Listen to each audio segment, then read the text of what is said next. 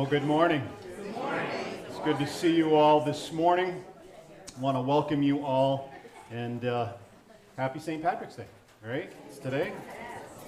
And you know, uh, it's encouraging to me with St. Patrick's Day um, comes the realization, at least for me, that spring is a couple of days away. And uh, you know, it's been a long winter. It's been a long winter. There's been so many people that have been struggling with different illnesses, the flu, COVID, RSV, you know, the coughing thing that's been going around, and so on. And, and you know, if you're like me, and I'll admit it, it's easy to feel defeated, it's easy to feel disillusioned, and uh, if you're like me, you want to just give up, right? I'm just so tired of coughing and blowing my nose. But uh, we can't do that, can we? Right? We can't just give in. And uh, instead, when you're down, and ready to throw in the towel, so to speak, I want you to, to meditate on three different, I have three passages that we're going to look at today. And I want you drop these in the back of your Bible because these are places to go. When you're feeling down, when you're feeling out, that sort of thing, these are, are some places that I want you to go with. The first is in Psalm. It's Psalm 91, verses 1 to 6. And it says this it says, He who dwells in the secret place of the Most High shall abide under the shadow of the Almighty. I will say to the Lord, He is my refuge and my fortress, my God. In Him I will trust. Surely He shall deliver you from the snare of the fowler and from the perilous, pe- perilous pestilence. He shall cover you with His feathers, and under His wings you shall take refuge. His truth shall be your shield and buckler. You shall not be afraid of the terror by night, nor of the arrow that flies by day, nor the pestilence that walks in darkness nor of the destruction that lays waste at noonday. We can go to his shelter. And, that's a reference to a hen, a mother hen, who brings all of her chicks under her wings to protect them. That's what a pic- the picture is of what our Heavenly Father does for us. The next place I want you to look is Psalm 73 26. It says this it says, My flesh and my heart fail, but God is the strength of my heart and my portion forever. And then finally in Isaiah 41:10, he says this. He says, "Fear not, for I am with you. Be not dismayed, for I am your God. I will strengthen you. Yes, I will help you. I will uphold you with my righteous right hand." You know, God has not promised to remove the difficulties in our lives. In fact, as Christians, we have to know that we're in the middle of a spiritual battle, and it's not going to be easy. Satan wants nothing more than to cause us to despair and to give up. But we can't do that. We have a heavenly Father, a loving heavenly Father who has promised to shelter us, to care for us, and to give us strength, especially in those times of difficulty.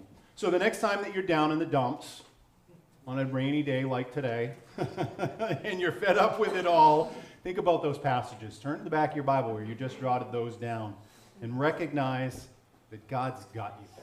He has got you. He really does. With that, let's stand and sing together. Good morning, everyone. These songs kind of go with that opening, so let them encourage you today and sing them loud.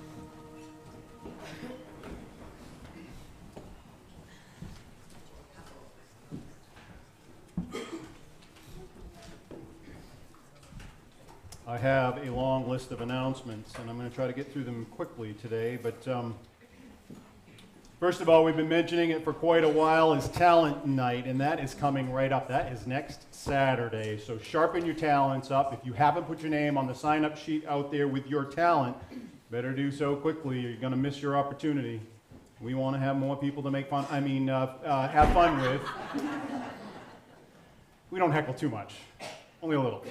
But we're looking forward to that. That's going to be next Saturday at 6 p.m. And uh, we really have a good time. Come on out. Even if you haven't signed your name up on the talent, we want you to be here as a spectator and have fun with us. And uh, we do have a good time with that. And uh, uh, after that, March 26th at 6 p.m. is a ladies' Bible study that's going to begin. And it's going to be every other week that's going to be happening.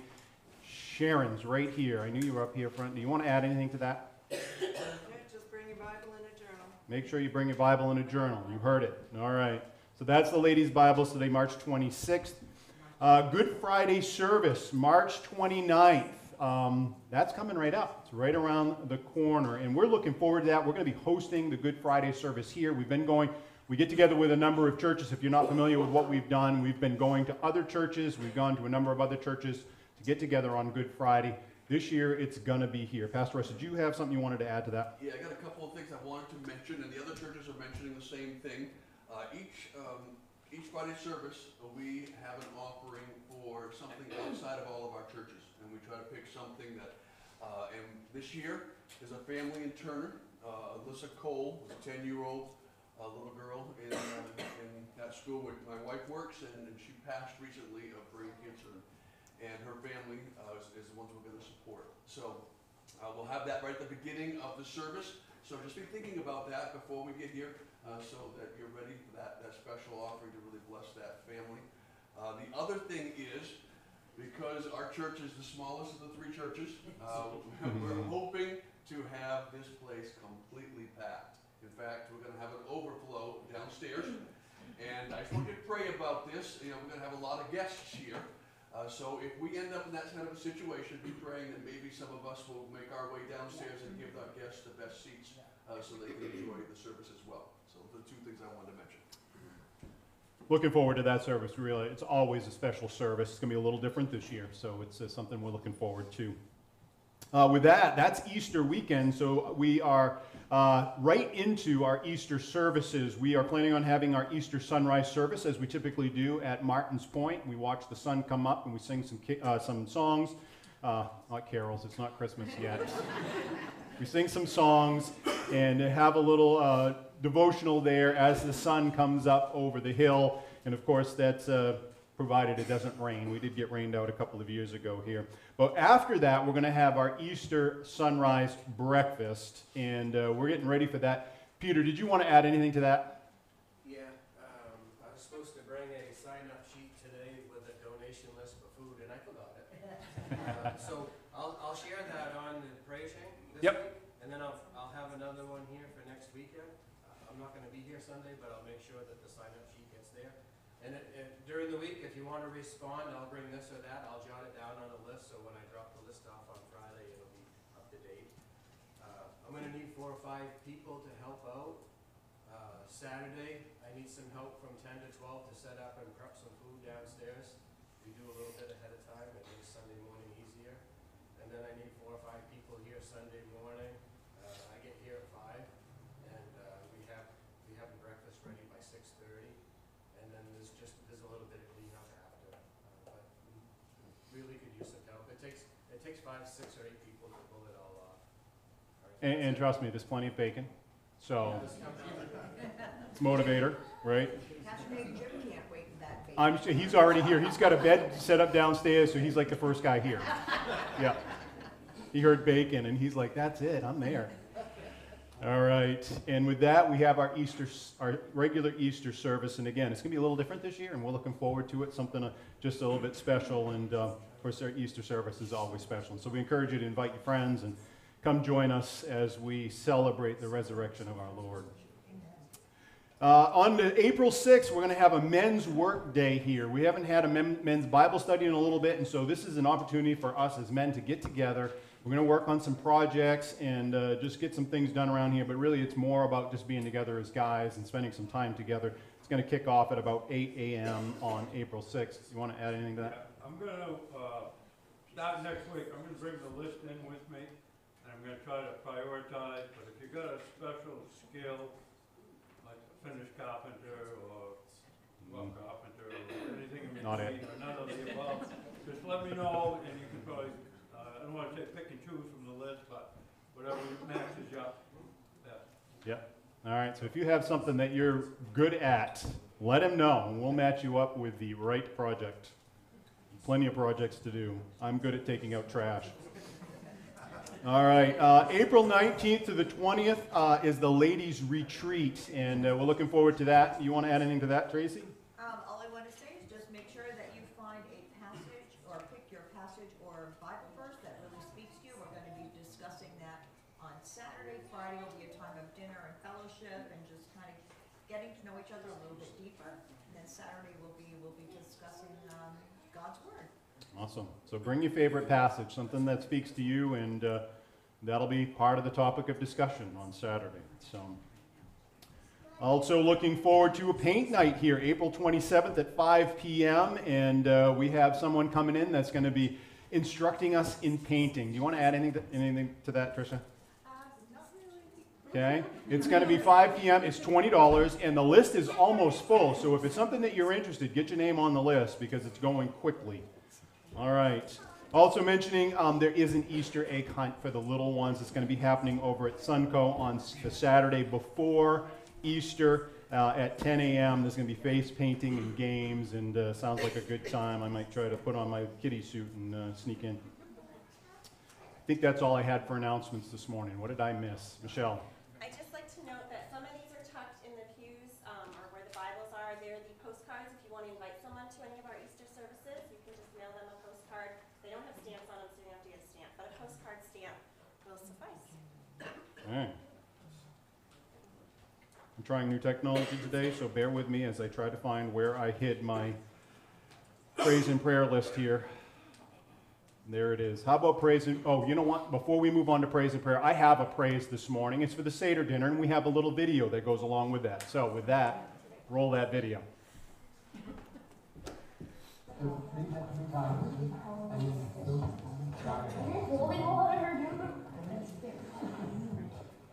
At this time, in the traditional Seder, there would be a- celebration. They're farm fresh. Nothing about the.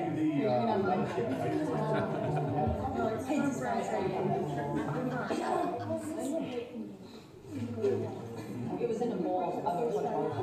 Yeah, I think we might, I might put it.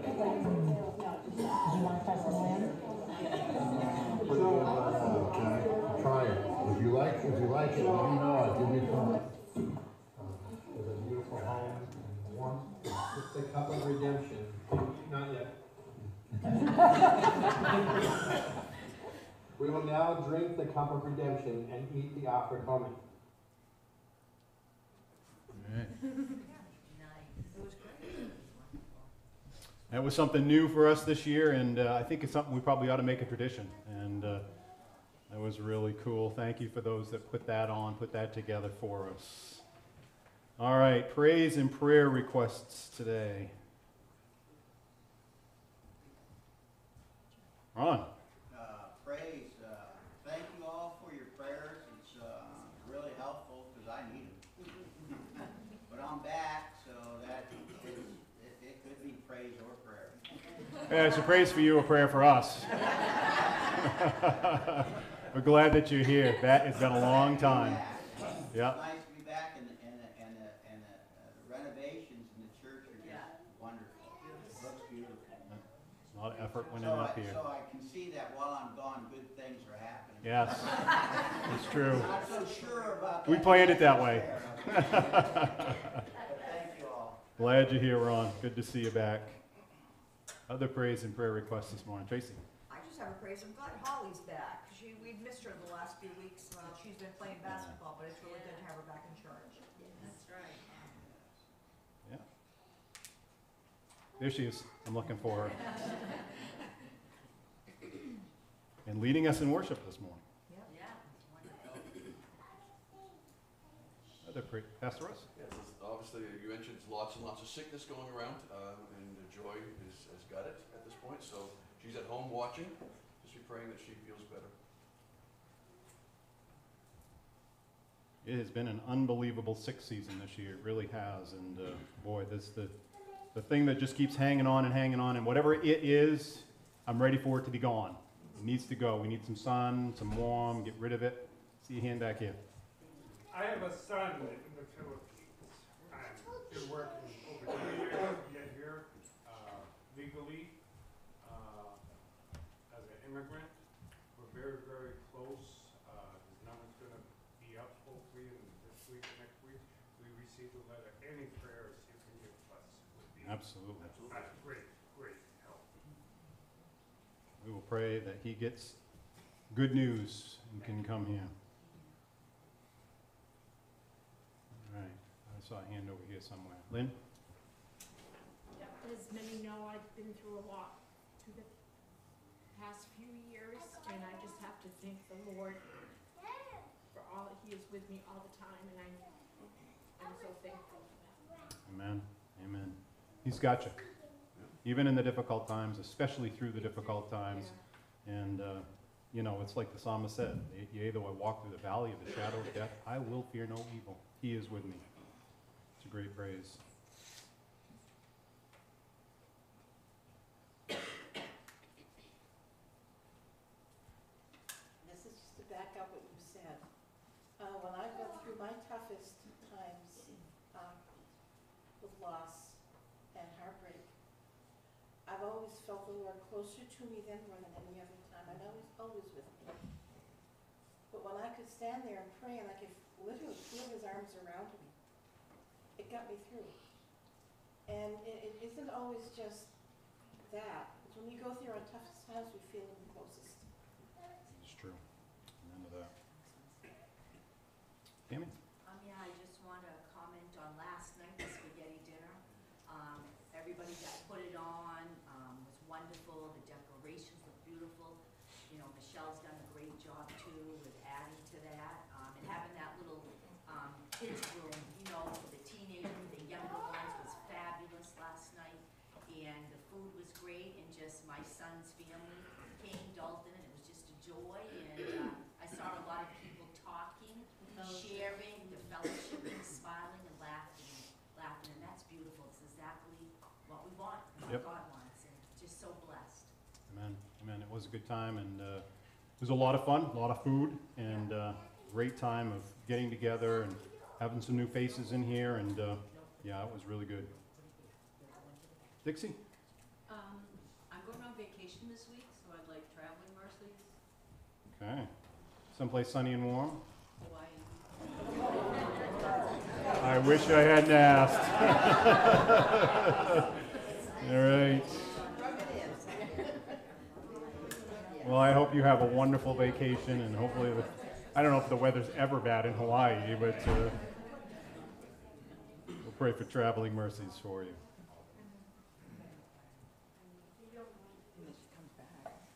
Yeah, now you come back, exactly. yeah. Mark? Yeah, I'd like to uh, pray for uh, Tim Gwinnett, his uh, husband, as he's going to be going through some changes in his life, so.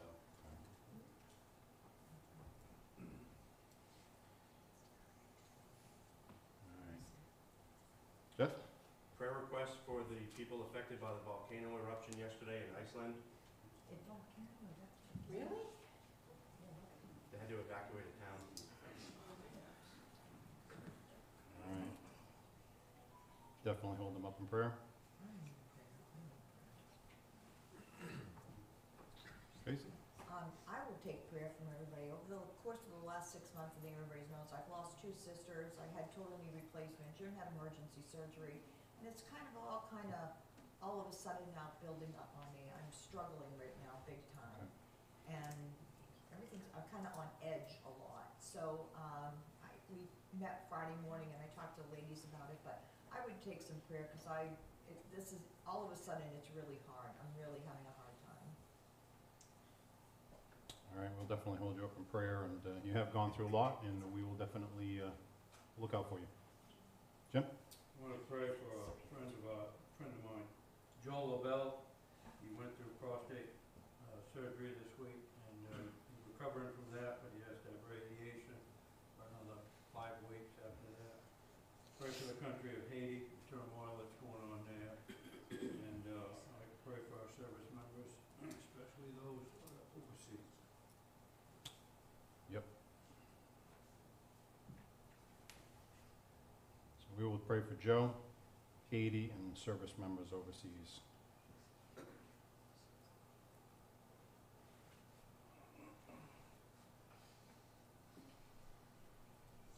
Sharon? Um, I think most of you know that our daughter Katie is expecting, and, um, the baby looks well, uh, but there might be some complications and problems, so she's having further ultrasounds this week and further testing, so, um, just be praying for them and, and for us. Whole family. It's nerve wracking for sure, so we will definitely hold your family up.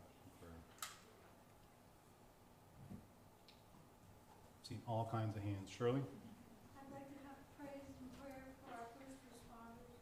Without them, I don't know what would happen. Definitely. In harm's way every single day and uh, taking care of us even uh, at their own risk. I'd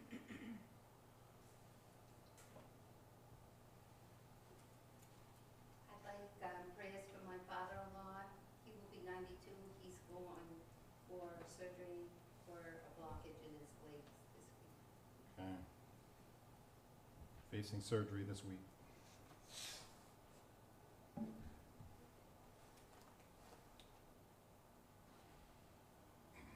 Nancy? I would like to ask prayer for Johanna. We've been praying for her, for the cancer. She had surgery two or three weeks ago, and she got notice from the doctor on Wednesday that it failed. Okay. He said six surgeries in six months. Hmm. So she meets with the doctor Monday to determine what they're going to do next.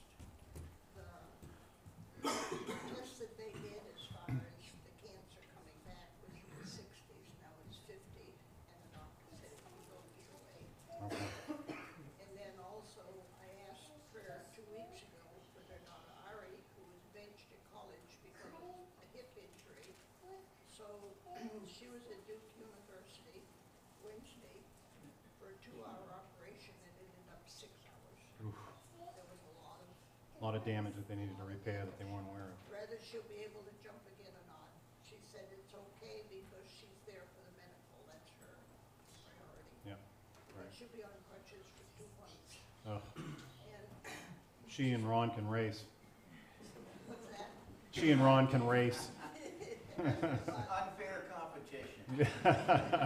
She, she offered, she's supposed to be at her brother's wedding, April sixth, and she offered to step down, and he said, no, she was, you're not gonna be in it, I'm not gonna get married.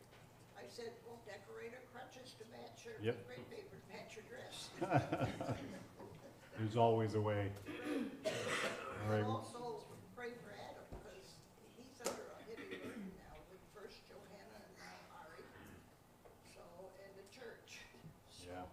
He's got a lot on his plate. A lot going on there. So we'll definitely, we'll hold Johanna up in prayer, and uh, we'll pray that the doctors, you know, have wisdom, know what to do, how to move forward, and uh, that should be good news. We'll pray for Ari and her hip injury, and we will pray for Adam as he's dealing with all of that, so. Other praise or prayer requests this morning? Cheryl? Uh, I would ha- like to have some pray, some prayers for Paige. She's been very s- sick with this cold that was going on. And worse than that, she has gone to Cherryfield to her boyfriend's house to spread it around. Oh, perfect, so everybody can enjoy it all. She was calm when I woke up this morning. I said, where's Paige?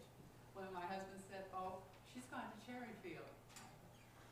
Oh, my word. Yes. Spread it around. Everybody wants it, right? I'm sure, pastors. Yeah, right. Yeah. Yeah. All right, we will hold Paige up in prayer as well. Yeah, Tricia? Uh, prayers for my friends Tina and Rick as they're traveling and going on vacation. Yeah. And, and we're stuck with Kimmy because of it. We're glad you're here, Kimmy. All right. Tina and Rick are traveling on vacation in warm climates. Yep. It's hard to, uh, it's hard to feel bad for them, really. Any other praise or prayer requests this morning? Oh, more hands. Uh, one for my mother, she's been struggling with dizziness and problems with her eyes. But then a praise too, because we were in the ER last night and they did a CAT scan and nothing dangerous shows up, so. Okay, good, good. So that's good news, but still uh, something to deal with there anyway. Okay. So another hand over to Michelle. Um, just prayer for our state legislators and Senate, I guess.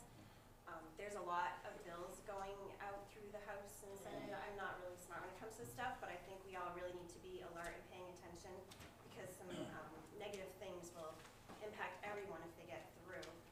And, um, I don't like to listen to the stuff and try to get educated on it, but I think we all need to and make sure we're having our voices heard. We need to call our local reps or whatever, I know Right. Randy's very involved and Laurel Libby from East Auburn Baptist Church is really involved, but there's a lot of, like I said, a lot of bills that will have a huge negative impact on our state.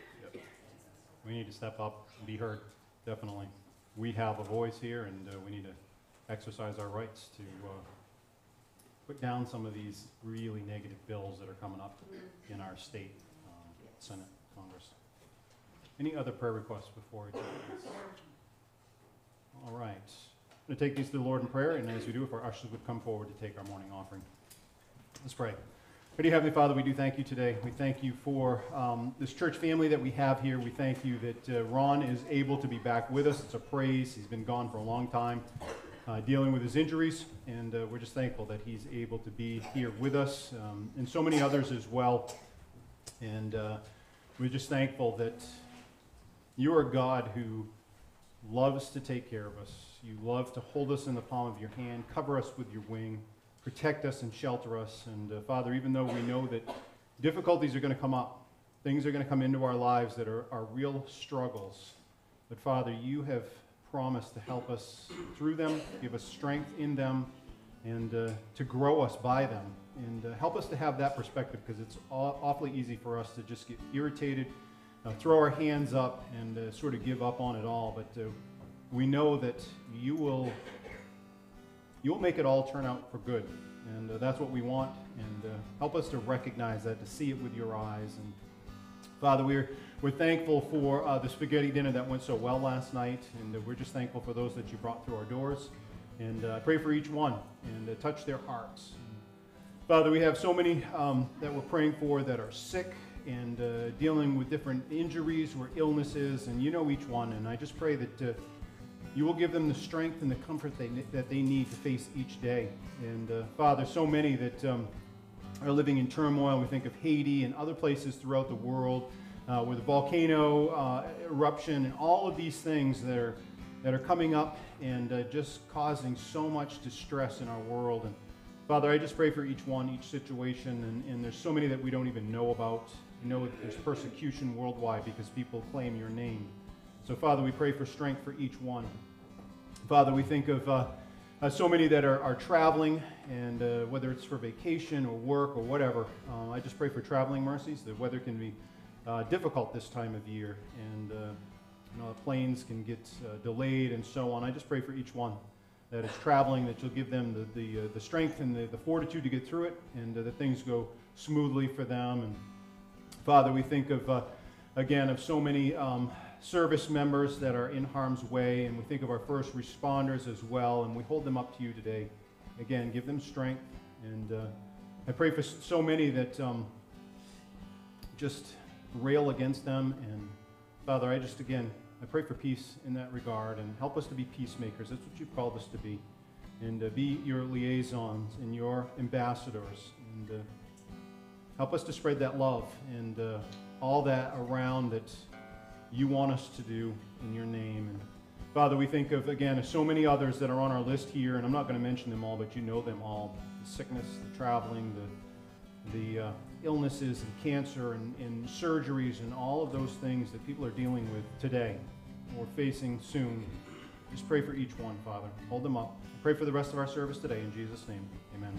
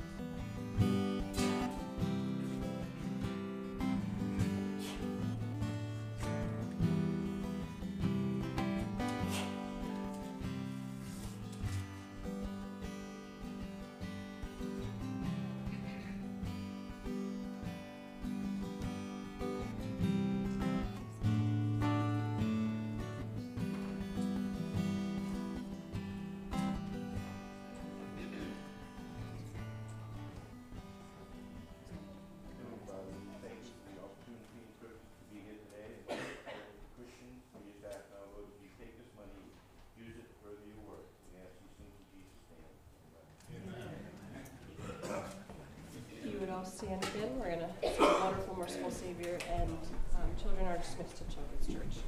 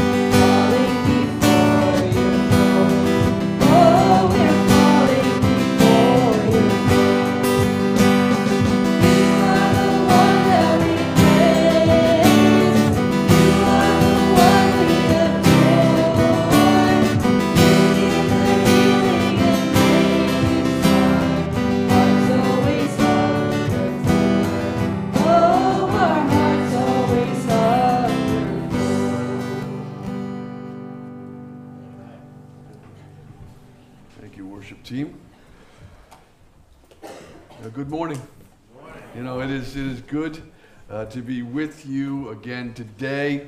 And, uh, you know, it is good. It is good for us to be together. Good for us to be together and studying God's Word. We should never take this time for granted. Uh, there, are, there are others in the, in the world that don't have this opportunity, so it's good to be, get, be able to open God's Word openly together. Well, this week uh, we are uh, find, we find ourselves right in the mo- middle of a book study, right in the middle of the, the book of Revelation, trying to, to sort of wrap our heads around what takes place during this very difficult time in human history. I mean, it's future history to us, but it's, it's a difficult time for humanity uh, as God's plan roll out. Now, I mentioned last week uh, that, that one of my one of my passions as a pastor is to, to help people, help you, anybody listening, to really understand the scriptures and then to fi- find a way to apply whatever we learned to our lives. It's got to be personal. We got to understand it. We got to find a way to apply it to our lives. And, and of course, it's impossible to hit a home run every single uh, time, especially when those listenings are uh, in different places, you know, maybe in their faith walk, or, you know, younger Christians, some who have been uh, in church most of their whole life, you know. It's hard to do that. Um, and uh, on top of that, you know, every one of us have different interests, right? So some things is, oh, this is just exactly what I want. And I was like, oh, well, what are we still in Revelation for? All right, so uh, we have all of that that sort of plays out. But I just want you to know, generally speaking, that is my goal. That is my goal. That's what I believe uh, makes our, our time together profitable, is making sure that we understand what's in God's Word. And it's all important. Uh, so to do that with uh, the book of Revelation, it's going to take some repetitive teaching, and it's going to take some real creativity on how how to proceed and how to present the material. Okay, because it's just a lot in here. So now, if you were with us uh, last week, uh, or you were listening uh, to that message, you'll know that I asked us to consider the book of Revelation sort of like a trilogy. Okay, and um, it didn't make a difference uh, whether you thought of it, uh, thought of it about like uh, three books or three movies. That, that doesn't make a difference at all. But I wanted to to break the material into three major components uh, so that we could focus on each one independently, each one separately, while knowing that they are all connected to one storyline. But to think about it like three different um, movies, three different books, and so we understand that there's more than what we're studying that way. Okay? The first installment uh, we've already done. We had had to do uh, with the church or the bride of Christ, and and it covered all of chapters one to three and part of the tr- the transitional chapters four and five, which happens to be playing out in the throne room of God. We've already covered that section of Scripture, which included, if you remember, you were here, it had the seven churches, right? And had these seven letters to these seven churches. And, and I believe includes the rapture of the church up into the throne room of heaven. And, and what we find in, in those transitional chapters of four and five is some of the activities in heaven trigger what's happening here on earth. They play out on earth as part of the seven year tribulation period. Okay? A, a seven year period promised to the nation of Israel back in our Old Testament book of Daniel, as well as some other places. So that the seven year tribulation is a section of Revelation that I wanted us to consider, sort of like the second installment, the second book, right? We already dealt with one, and now we're going to get into the tribulation. Just so you know, there's a third. There's a third installment and uh, in the trilogy, which, which includes some unbelievable stuff that we're going to get to. It includes the millennial kingdom. It includes the final judgment of Satan.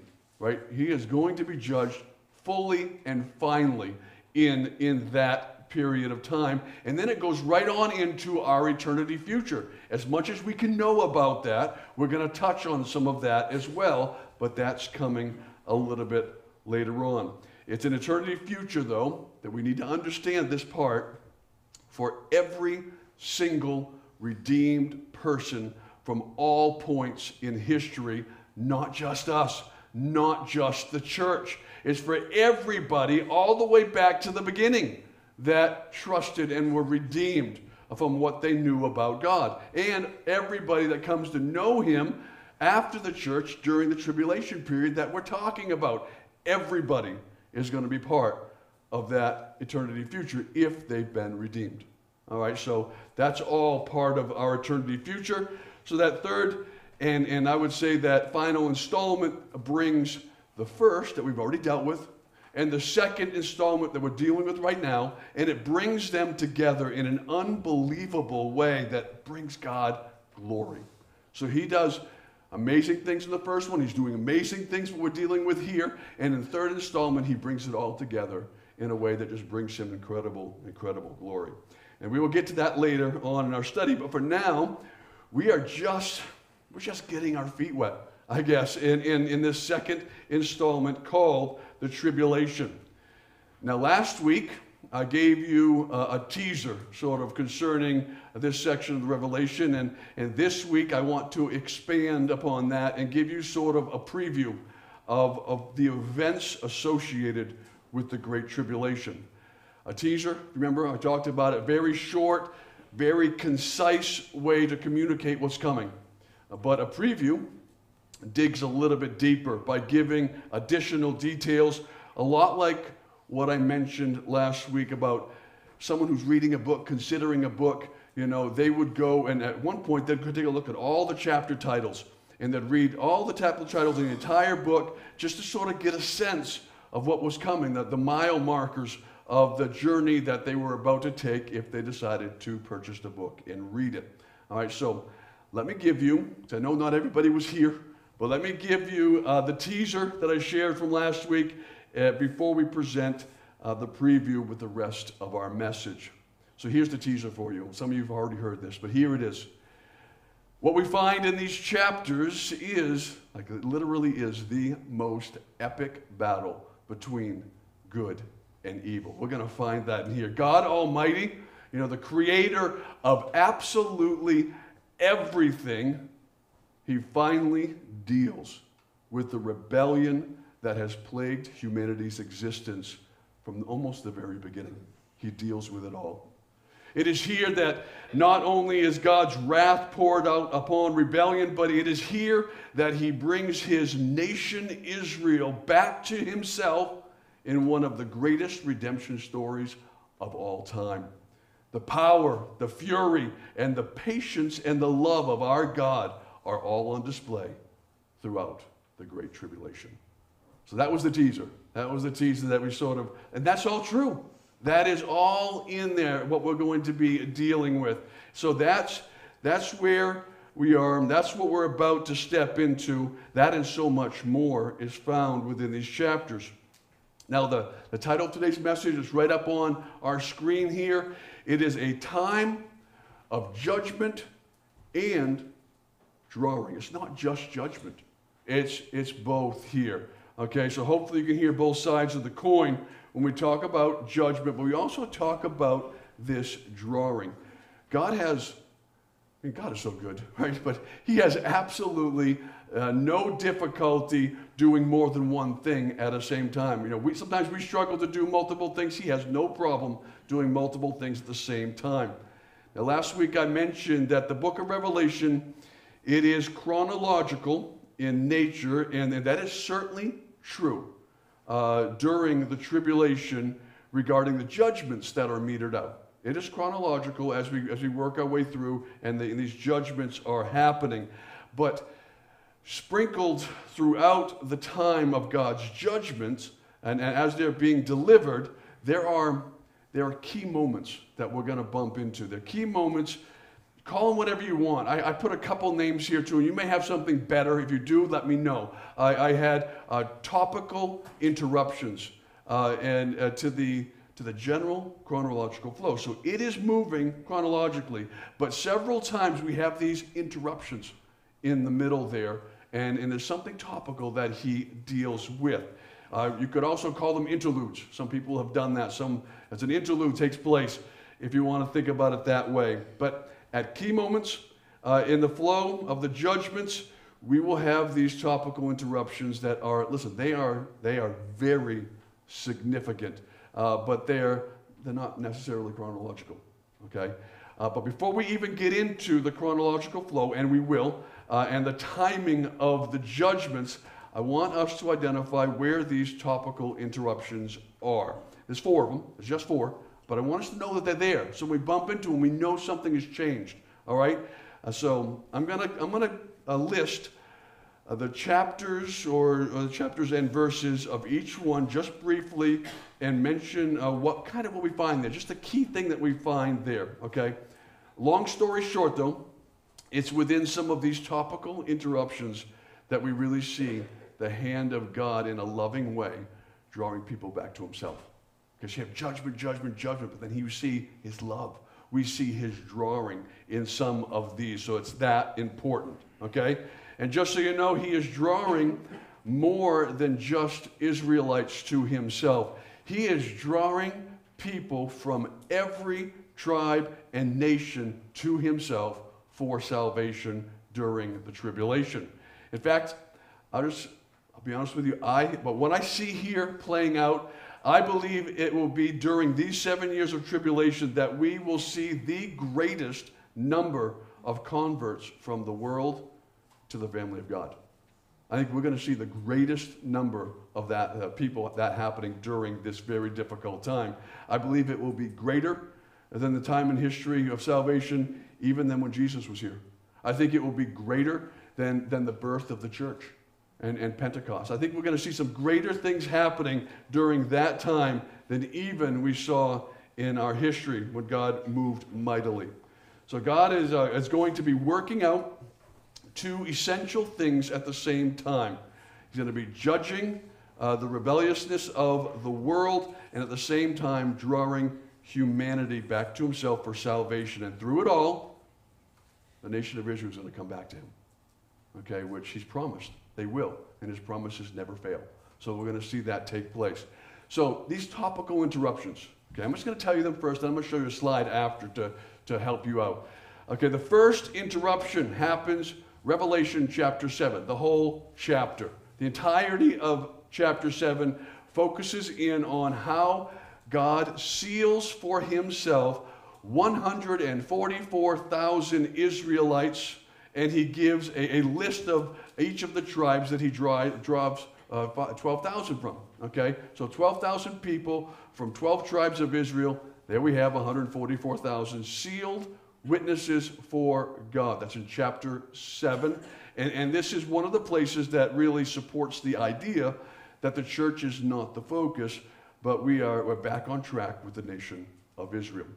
So let me read to you just one verse from Revelation 7 that we have uh, just before this detailed list of, of each tribe. Know, in Revelation chapter 7, verse 4, it'll come up on your screen, it says this And I heard the number of those who were sealed 144,000 of all the tribes of the children of Israel were sealed. And then the next verses give family after family after family, where we have 12,000 from, from each one, okay? So we will be studying portions of this chapter next week. Uh, so I'm not going to go too deeply today because we're going to get there next week, okay? But just so you know, this 144,000 uh, will be the primary missionary force to evangelize the entire planet during these difficult years. And they, they will be protected by God uh, because He seals them, He protects them. So that's going to happen. But this is, the, this is the primary force that gets it done, all right? So that, that's what's happening there. And um, the next interlude, that's the first one, chapter 7. The next interlude in the chronological flow during tribulation happens Revelation chapter 10. So we jump a few chapters. Chapter 10, uh, verses 11 to 13. Uh, this is uh, actually chapter 10 to 11:13. So I almost two chapters here. Uh, and what we find this time is an angel was sent by God to deliver a message to the Apostle John by, you may have heard this before, making him eat this little book, right? That was sweet, but then it was just horrible to him. And, and so that's what he does. But basically, what he is doing there, he's making the announcement of, of the judgment that's coming. And, and, it's, and it's difficult. So there's a, all that is happening there. But we also find in that break, something that may interest a lot of you. It is these two witnesses that are a topic of so much debate concerning who are they? Who are the two witnesses that are coming during the tribulation? Lots and lots of people speculating. And, and uh, what we find this time is that, is, is that this angel is uh, delivering a message to the Apostle John, and it's all about that judgment. And then we have these two. And if you don't know this part of the story, uh, there are two witnesses that prophesy against what is happening on the planet. The people are living this out, okay? And it's difficult what we're going to be reading about. The judgment part, they're living it out. And, and we're going to have two prophets letting them know what's going on and that they should turn, they should come back, and they should trust uh, the God who created them, right? And, and they are absolutely hated uh, by the worldly population. They are hated, hated, hated. That's an understatement, okay? And, and they are given power to do miracles and to kill anyone who, who tries to harm them. Many people um, believe they know their identities. I'll give you some examples. Some think, well, it's got to be Elijah and Moses. Absolutely has to be, represents the Old Testament. It's got to be those two. Others believe, no, no, no, no, Zerubbabel, maybe Joshua a couple of good option. Still others think it's got to be Enoch, Melchizedek. You know, there's some, some of those didn't even die. So how, everyone's got to die, so it's got to be one of them to come back. And there are other several reasonable guesses, but listen, we will not know until they arrive. That's the end of it.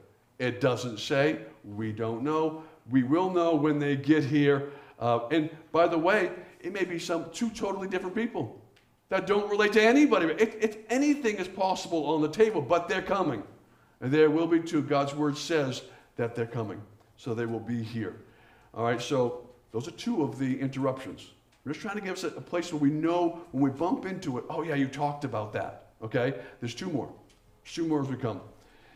And uh, the third covers Revelation chapters 12 and 13, where we are introduced to the Trinity. But it's the unholy Trinity. It's not our Trinity.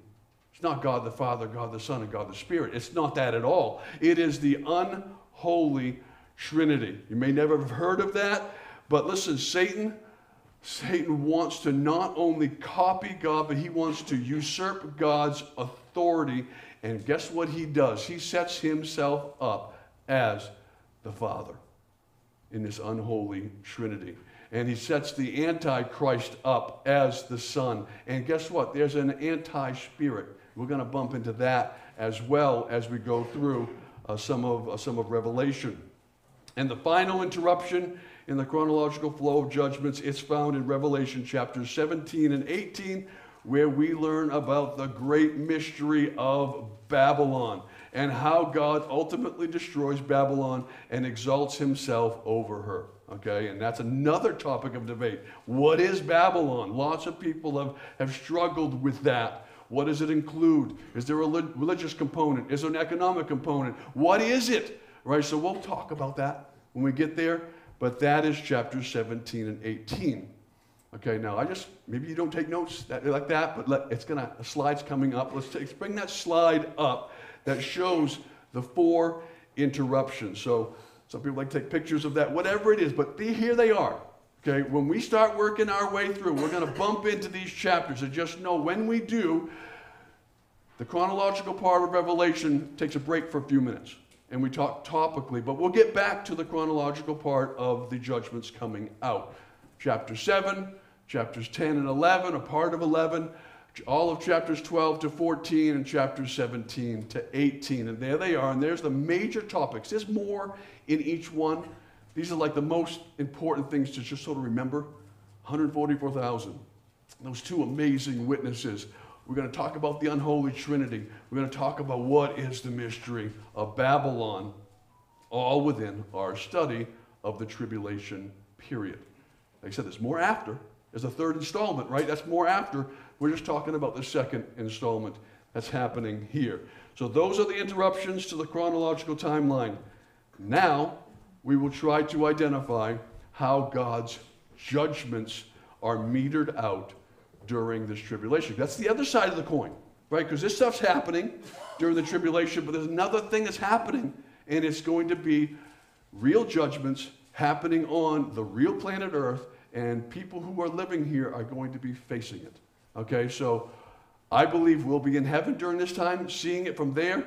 Other good pastors have different opinions on that. We've talked about that. I think we'll be there watching. I think the evidence shows that. But either way, these things are going to be happening on the planet during the tribulation period. So those are the interruptions. Um, but let's get to these judgments.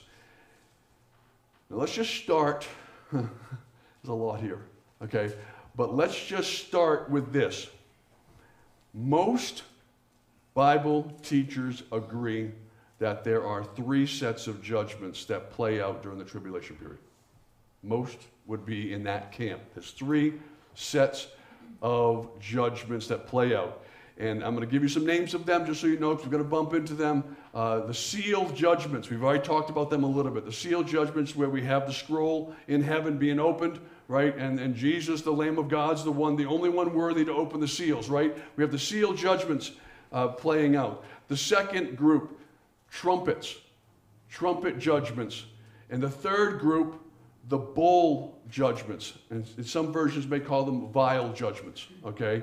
Uh, not vile like bad, but vial like a little vial to hold something. But the bowls or the vial judgments. So seals, trumpets, bowls. So agreement on the, the fact that there are three major sets of judgments that we find in the tribulation is just about where the agreement ends. I just want you to know that. Uh, a lot of people agree on that. There's a lot of differences after that. And uh, so, and it seems as though everybody has their own idea of when these judgments happen, how they play out on earth. So let's, let's just start with the basic idea that the scripture says there's three. There's three sets. Each set of three, each set has seven within them, seven parts to each of these sets. So there are seven seals, seven trumpets, seven bowls. Okay, seven, seven, seven. Uh, that's, that, that's agreed upon as well. And almost all Bible scholars that believe the Bible would say that God will use these three sets of judgments to pour out his righteous wrath upon the wickedness of the world. Every sin must be paid, everything gets dealt with. And God deals with it in a righteous way, and he deals with it through these three judgments, okay? So there are a couple of anomalies which I want to mention. We're not going to get into them right now. Like there's seven signs that show up, and then there's these seven thunders that the apostle Paul, John wants to write down. They said, no, no, you can't write that down right now. Uh, seal that up till later. So there's something happening there that's still hidden to us that we have no idea what it is, called the seven thunders. They'll figure it out when it happens because they were told to, to not write it down, okay? Um, but besides those two, most scholars will agree about the three sets of judgments and that the, seven parts are being poured out in, in each one of them during our tribulation. So now the timing of these judgments are another matter completely. And I'm going to present to you why I believe that these three sets of judgments play out concurrently, not sequentially. Okay, so I'm going to tell you why I think they run out concurrently, not sequentially.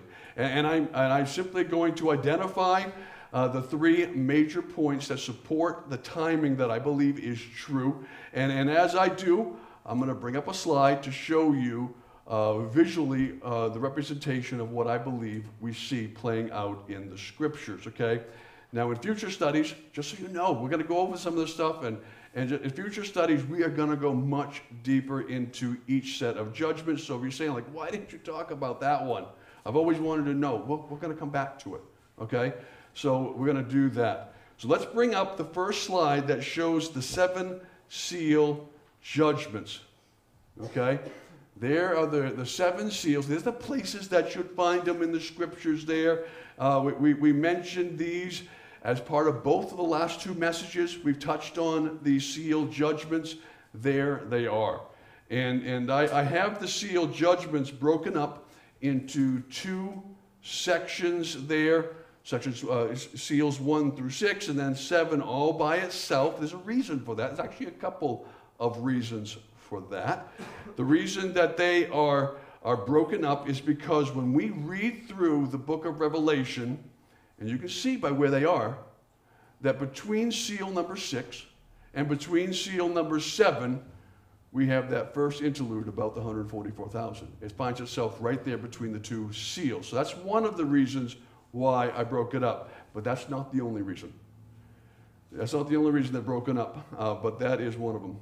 So the last time we did a quick uh, overview of the seven seal judgments, but I would like to take a look at seal number seven so that we can identify something peculiar about that that happens as part of the final judgment in this first series called the seals the seal judgments okay? So turn with me if you would it's going to come up on your screen as well revelation chapter 8 and we're going to look at verses 1 to 6 okay remember this is the seventh one out of a series of seven here we are at the end of the seals okay and this is what it says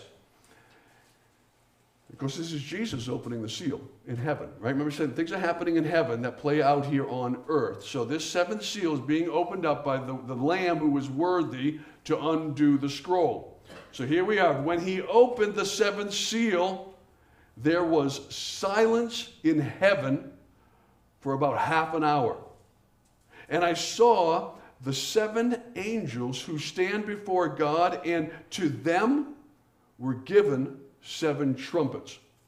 Then another angel, so not one of those who have the trumpets, but then another angel having a golden censer came, stood at the altar, and he was given much incense that he should offer it with the prayers of all the saints upon the golden altar which was before the throne. Remember, we're in heaven and the throne room of God itself. So that's where we're playing this out. And I believe the church is right there watching this go down.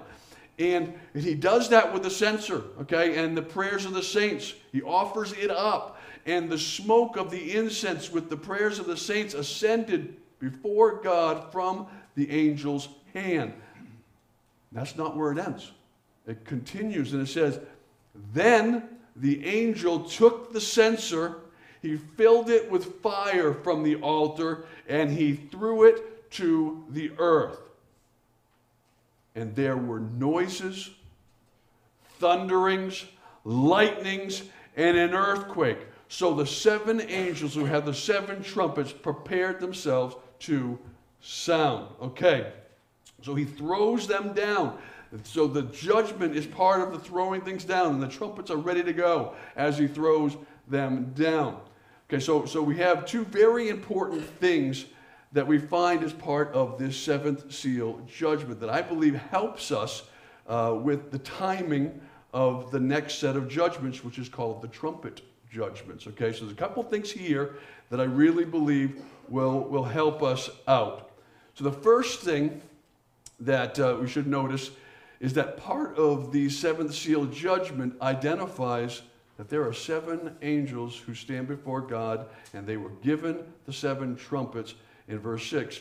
And they were prepared to sound those, those trumpets. And that's part of the seventh seal. Okay, and they talked about, they are there. Okay, so that's the first interesting thing that hasn't happened in any other places. Right? That's the first interesting thing. But the second, in my opinion, and even more importantly, is the descriptions that we are told happens when that single angel throws the fire from the censer down to the earth. Look at verse 5 again. It says, The angel took the censer filled with fire from the altar, he threw it to the earth, and then look, listen to these descriptions. There were noises, there were thunderings, there were lightnings, and there was an earthquake. Okay, so that's what happened there at the end of that one. Now, so as part of the seventh seal, we read that there was silence in heaven for half an hour, which is important because there's some worship going on. There's awe and worship happening there. But there were also these noises, thunderings, lightnings, earthquakes, and we're going to run into those phrases again. Pick up on those. When you see stuff like that, lock it away and say, especially when you see it more than one place, that's intentional, all right, in Scripture. Okay, because the, the seven angels with the seven trumpets being part of the seventh seal, uh, that, that helps us uh, to figure out uh, where these noises and thunderings and lightnings and earthquakes that I'm, I'm going to make a statement about. Uh, I believe because we're going to find them again, actually, a couple places we're going to find them again. I'm going to make this statement to you. I believe that all of the seven trumpets, all of the seven trumpet judgments are included in the seventh seal judgment. That's how I see the scriptures playing out. Okay, so, so within the seventh seal judgment is all seven of the seven trumpet judgments. So let me bring up the slide with adding something to it. So visually, kind of get an idea uh, of what I'm talking about here. So here we have these first six seals, this major interlude that talks about the 144,000, and then we get to the final seal. And I think within that seal, we have another whole set of judgments as part of that judgment. Okay, something being added there. Okay, so notice that just, just like how I divided up uh, the seal judgments, we are going to also divide up the trumpet judgments into two categories, exactly the same six and one, sixth and the seventh, all by itself. And we're going to do that for the very same reason that we divided up the seal judgments, exactly the same. Because so, right between the trumpet judgment number six and the trumpet judgment number seven, guess what we run into? This other topical interlude there that speaks about the two witnesses. So the first break's talking about the 144,000 evangelists. And then we get to the second series, right at the same point, we have this other, the two, the two, um, the two prophets are playing out there, okay? And just like last time, let's read about the seventh trumpet judgment. So now we're moving to the end of the second series, the seventh trumpet judgment, and let's see what we find there. So jump ahead with me, Revelation chapter 11, and this time we're going to read verses 15 to 19. Okay, and this is what plays out, what happens when that seventh trumpet is, is done. It says, Then the seventh angel sounded, and there were loud voices in heaven saying, The kingdom of this world have become the kingdoms of our Lord and of his Christ, and he shall reign forever and ever. Look at the worship and the 24 elders who sat before God on their thrones. They fell on their faces and worshiped God, saying, We give you thanks, O Lord God Almighty, the one who is and who was and who is to come, because you have taken your great power and you have reigned. The nations were angry, and your wrath is come, and the time of the dead that they should be judged and that you should reward your servants, the prophets and the saints, and those who fear your name, small and great, and should destroy those who destroy the earth. Then the temple of God was opened in heaven, and the ark of his covenant was seen in his temple, and there were, look at this, lightnings, noises, thunderings, earthquake, and great hail. Okay, so this is uh, the same list that we see associated with the seventh seal, except for one addition that is great hail.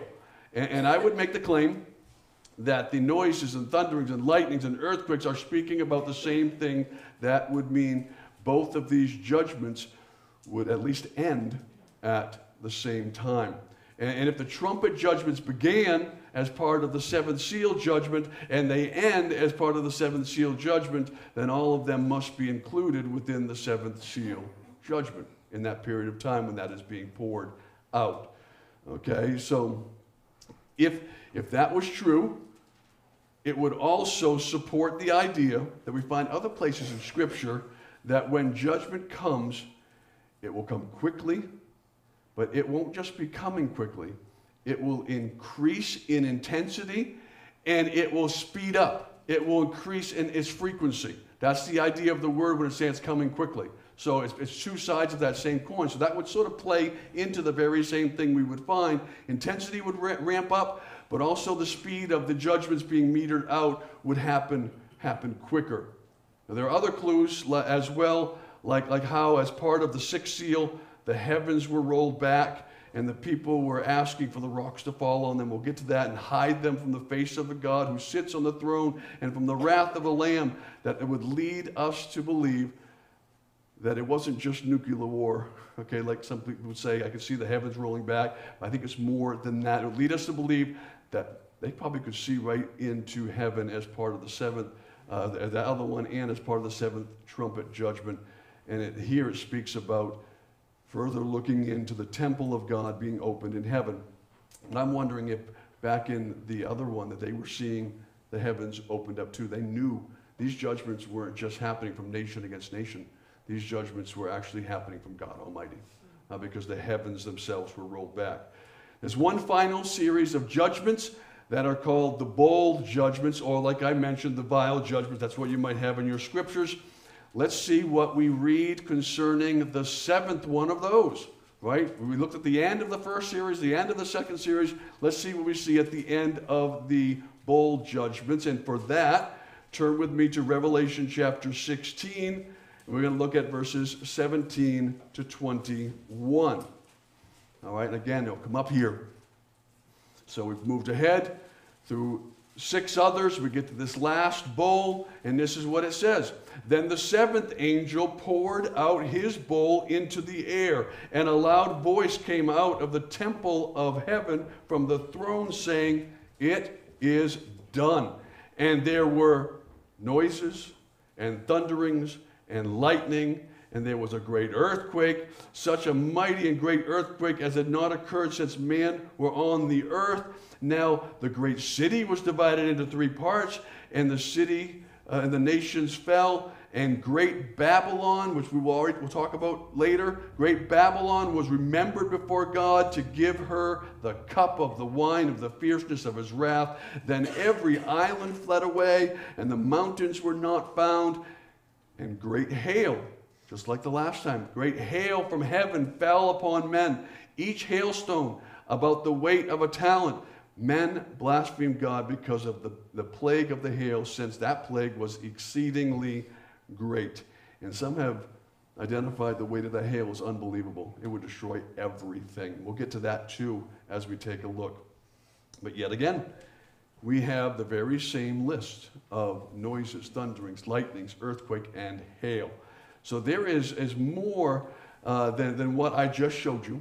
We're just quickly going through this, right? There's more than what I just showed you to, to, to support what I believe the claim that is true uh, to make that uh, we will get to some of them as we study through the series of the judgments. But for the sake of, of this time, I'm going to bring up the final slide that I believe shows all of the bowl judgments being part of the seven trumpets. It's like we're zooming in right? And or, or, it's coming out at, however you want to talk about that. And um, listen, and again, I, I want to keep saying, you're going to hear me say this a lot, okay? Um, like I mentioned earlier, there are lots of good interpretations on the timing of these judgments and how they work out. This is how I believe the scriptures describe the progression in not only intensity, but also in the speed at which they arrive here on the planet. Okay? Now imagine, if I'm right, I think I am, but imagine for a moment that the seven seal judgments uh, carried us uh, from, let's just say, nearly the beginning of the tribulation all the way to the end. And, and even if they weren't uniform in their timing, right? That even if that wasn't the truth, there would still clearly be time. We're talking about seven years here, right? There would clearly be time between each judgment hitting uh, those who lived here on the earth. There'd be time, there'd be breaks, right? As As one hit, kind of recover a little bit, catch your breath, and then another one would hit in over a seven year period, right? So that would be happening.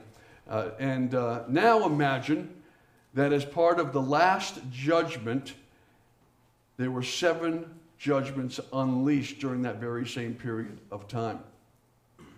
Imagine that. Imagine playing that out. And, and, and as bad as it had been uh, uh, up uh, under the judgments that far, uh, up until that point, whatever this time is laying out, it's, it's seven times worse. Okay? It's coming faster and more furious during this last time. And now, on top of that, when you get to the seventh trumpet judgment, which has just been meted out much faster than the seals, when you get there, we have another speed up of seven times for the bowls judgments because they're all incorporated in the, the, that final trumpet judgment. So the listen, at that point in human history, the judgments would be coming so fast and, and so furious, they'd be so severe that it would seem like there was actually no chance to catch your breath. It was just unrelenting, coming harder, harder, faster. There'd be no place to run, no place to go. And, and imagine being, because people are going to survive up until this point. Nations are going to survive up until this point. So many are going to perish. But there's going to be people here experiencing all of this. And, and out of sheer desperation for the unrighteous people who will not relent. Okay, so th- think of that group. Out of sheer desperation for it to come to an end, all of the nations of the world that have survived these judgments will gather themselves to a place called Armageddon to do battle with their Creator just to make it stop. That's where they're going to be at on the planet. It has to stop. This is not sustainable. We will go, we will fight to try to make it come to an end. Newsflash, you know, the scriptures say it doesn't work out so well for them. Okay, but that's where they're at. They go because they have to go. It is that bad. That's a topic for another message. We will get there. Now, I realize that's a lot of information uh, to put out there in one message, especially if we have not a lot of familiarity with the, the book of Revelation. And if that happens to be you, man, hang on, hang on with me. Okay? Uh, we're going to slow things down. We're going to slow things down and study specific parts of the tribulation period. All I wanted to do with this message was to lay some groundwork, create a blueprint, uh, however you want to think of it, so we can just start beginning to work with it. It's so much information, people shy away from it, right? I wanted to sort of lay something down for us to say, oh, yeah, you talked about that. And now I have a place to put that in, in my mind's eye when we're getting there, okay? So that's all I wanted to do was to do that, to lay that groundwork. Now, even if you feel like many of the details that uh, maybe went over your head, uh, in future messages, we'll talk about them, and, and, this message will hopefully, at that point, become very, very helpful uh, to you. Now, one of the great one of the great takeaways, and there's more than just this, but one of the great takeaways uh, from the tribulation is that God is always drawing people to himself, even in the hard times of life. That, that's a takeaway we can get from this. Even in the worst time in human history, God still has a plan to draw people to himself, even rebellious people he wants to turn to come to him. So let's not forget that God God gives a blessing also to right at the beginning of this. He knew this was hard stuff. He gave a blessing at the beginning for those who would share it and those who would hear it, those who would read it, right? And so yeah, that blessing is supposed to be an encourager to help us to keep engaged with what we find with that. So again, I just ask that you would uh, pray for your, your pastor. You know, I, I, try to try to present things in a way that can kind of make sense, difficult things in a way that can be clearly understood. But I also want to find a way for you to be able to put it into your life because we all have hard stuff going on, right? And and God still wants to draw you. God still wants to draw the people in your family that may not know Him as Savior. Just don't think because it's so bad that they're, they're well hope. He's a powerful God, and He wants. If anybody will come of their own free will, He wants them to come to Him. So there's a couple of things, but please pray for me as we try to pull all this together and to present it in a way that's understood and helpful. Amen? Amen. Amen. Let's close with a word of prayer. Lord, thank you Thank you for your, your revelation, the revelation actually of Jesus Christ, uh, the one who is worthy, the one who will make everything right, the one who will, who will put down all rebellion, the one who will reclaim the rights to not only Israel, but to the whole earth, and then we'll present it back to you, Father, in a glorious moment when He puts everything back fully redeemed to you at your feet. And Lord, what a privilege it's going to be uh, to be part of that moment. And uh, we're part of history, part of your, your plan working out.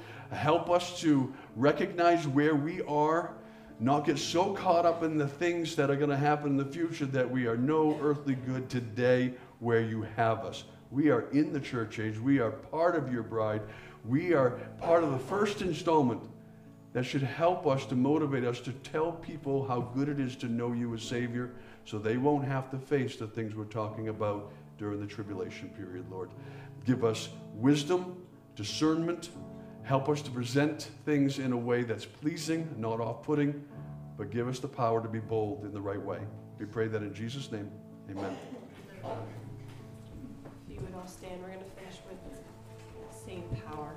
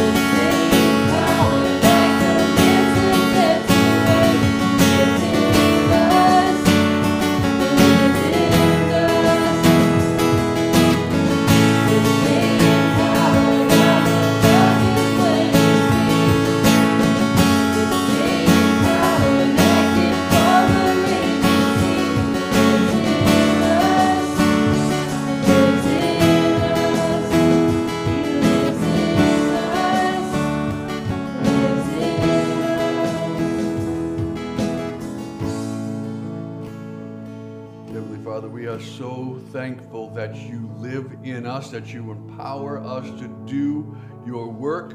We're thankful that we can gather here, be confronted with your word, the truth of your word. But Lord, may we go out and represent you well with boldness. And Lord, may you bless the efforts that we put forward. In Jesus' name, amen.